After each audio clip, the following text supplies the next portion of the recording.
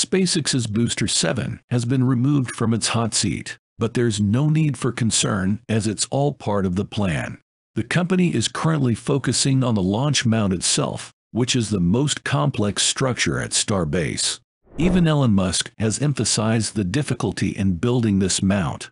The OLM is currently undergoing a lot of welding, and while the shielding on the top half is almost complete, there are still considerable gaps between the panels.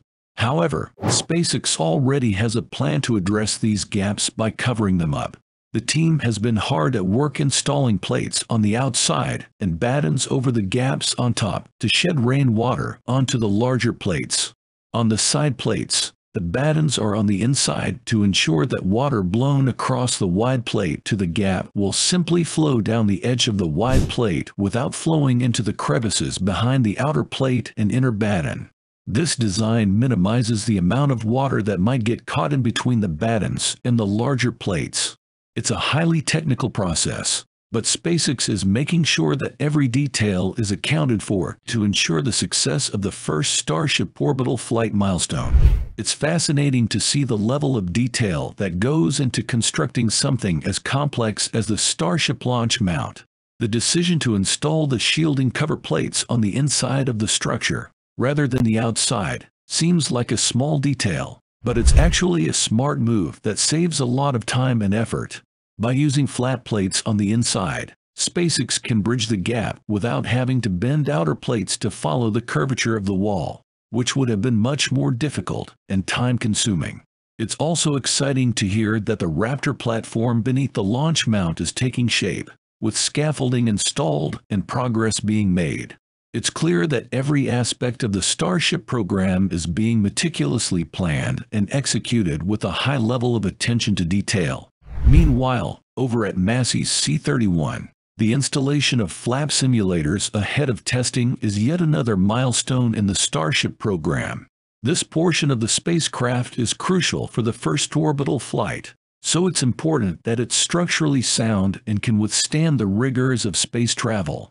Overall, it's clear that SpaceX is pushing the boundaries of what is possible with spaceflight, and the attention to detail and innovative thinking that goes into each aspect of the Starship program is truly impressive.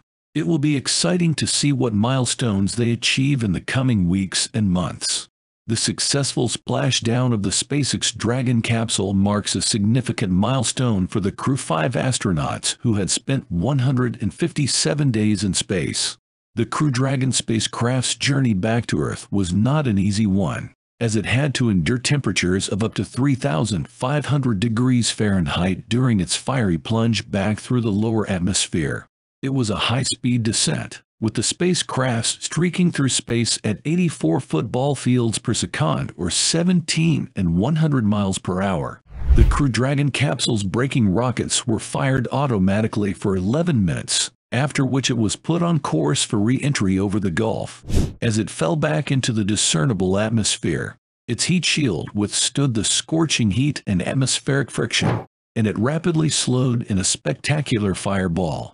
The capsule's main parachutes were then deployed, and it slowed down to a sedate 16 miles per hour for the final three and a half minutes of the flight before splashdown. Upon landing, SpaceX crews stationed nearby quickly converged on the spacecraft to ensure its safety and haul it aboard a company recovery ship. The hatch was then opened, and one by one, the astronauts were helped out and placed on stretchers to ease their readjustment to gravity. After initial medical checks, they'll be flown to shore by helicopter and then to the Johnson Space Center in Houston for debriefing and reunions with family and friends. The safe return of the Crew Dragon capsule and its astronauts highlights the success of SpaceX's continued efforts to enable regular and reliable human spaceflight. It is an achievement that demonstrates the company's commitment to revolutionizing space exploration by making it more accessible and affordable. The concept of 3D printed rockets has been gaining popularity in the space industry, with companies like Relativity Space at the forefront of this innovation. The company's Terran 1 rocket, made almost entirely using three Dominican pesos printing technology, was expected to make its debut flight from Launch Complex 16 at Cape Canaveral Space Force Station in Florida. However, As the launch window opened, the company faced unexpected challenges that resulted in the launch being aborted twice in one day. Despite the setback, Relativity Space remained optimistic and continued to take a measured approach towards their future endeavors.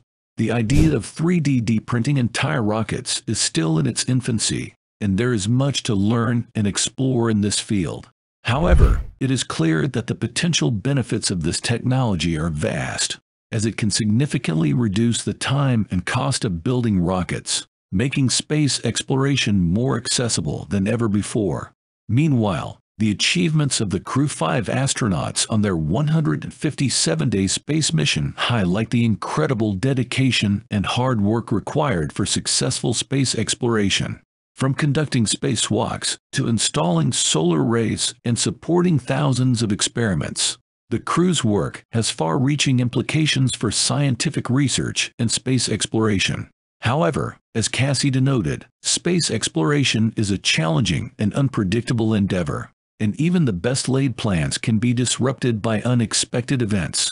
Nonetheless, the crew's dedication and commitment to their mission are an inspiration to us all. Despite multiple attempts, Relativity Space was unable to successfully launch its Terran 1 rocket on Saturday, which was set to be the world's first 3D printed rocket. The launch was delayed due to high upper level winds and was then aborted twice due to various issues, including a boat encroaching the launch safety range, an automatic abort due to a launch commit criteria violation, and a fuel pressure issue on the second stage. Despite the setbacks, Ariadne Kelly, test and launch technical program manager for Relativity Space, expressed optimism and said they would continue to take a measured approach. The Terran 1 rocket is designed to launch small satellites into low Earth orbit, and the company hopes to eventually see it off to Max-Q and beyond. The multiple aborted attempts highlight the challenges and difficulties associated with launching rockets and underscore the importance of careful planning and preparation in the space industry. In the highly competitive and fast-paced space industry, setbacks and delays are not uncommon. This is especially true for a company like Relativity Space, which is working on developing innovative 3D printing technologies to create rockets. Despite the setbacks, the company's founder and CEO, Tim Ellis, remained optimistic and focused on the long-term success of the company. He emphasized that the launch attempts were not just about getting Terran 1 into orbit, but also about collecting valuable data and insights that would help the company improve and develop new technologies for future launches. Furthermore, Ellis noted that the launch of Terran 1 was just the beginning of the company's journey towards becoming the next great launch company. The insights and lessons learned from the launch attempts would be instrumental in the development of Terran R, Relativity Space's next-generation rocket. The company is pushing the boundaries of what is possible in rocket manufacturing and is committed to developing new technologies that can revolutionize the industry. Despite the challenges and setbacks, Relativity Space remains focused on its mission to make space more accessible and affordable for everyone.